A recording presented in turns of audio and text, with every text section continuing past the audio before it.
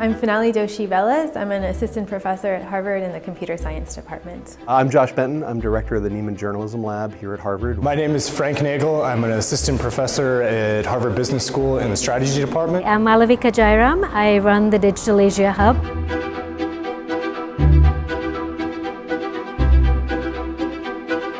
Think artificial intelligence is a new mantra that everyone is using to add to whatever they're doing.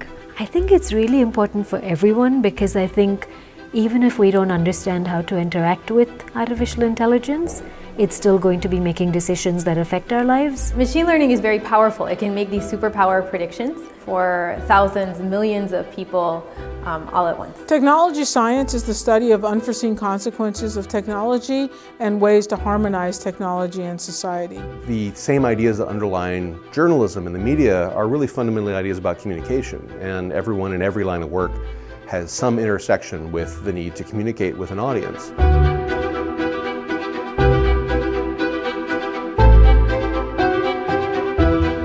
Real privilege to be here, to be exposed to great talks, great classes, have the chance to visit uh, initiatives like the MIT Media Lab. Firstly, it helps to overcome my own fear of the new. It is very inspirational.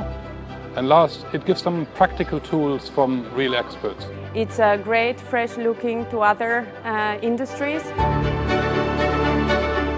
strongly recommend to stop a little bit for a while and uh, go deep in those new tools and the digital um, environment.